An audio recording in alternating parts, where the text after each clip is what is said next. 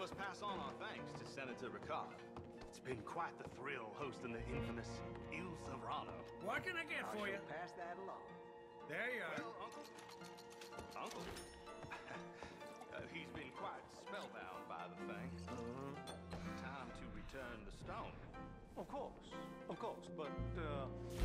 Sir, well, good morning. I don't have it on me. What? Where is it? Look now, son, don't blow your top. It's close by. Made a note of the location and everything right here in my pocket. Oh, well, you know, as I was about to say to the senator's esteemed representative here, Mr. Uh, uh, Uh, just lieutenant will be fine, sir. well, Lieutenant, I've been thinking this uh, fair, this uh, state's fair. I mean, dress it up how you may, but the very word gives the game away, does it not? Why, it's nothing but a carnival. Common, cheap carnival. the civilized among us here in Rhodes are of uh, a certain stock, and therefore in a far better position to exist.